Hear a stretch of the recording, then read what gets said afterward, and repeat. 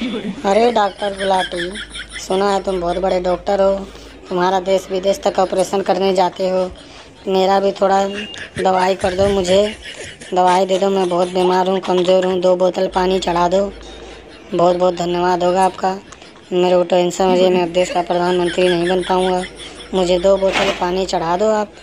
ठीक है, पप्पू बाबू। तुम देश के पप्पू हो, इसलिए मैं तुम्हें दो बोतल पानी चढ़ा देता हूँ। बड़े कमज़ोर लग रहे हो तुम। अभी मैं चढ़ा देता हूँ, तुम्हें दो बोतल पानी, ठीक है ना? आँख बंद करो बस। अबे गुलाटी, ये क्या कर दिया?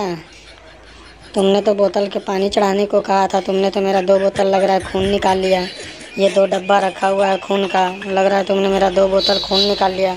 ऐसा नहीं करना चाहिए था गुलाटी तुम अबे पप्पू कहीं के? दो बोतल खून तेरा नहीं निकाला है। सुई लगाते तो तू बेहोश हो गया था।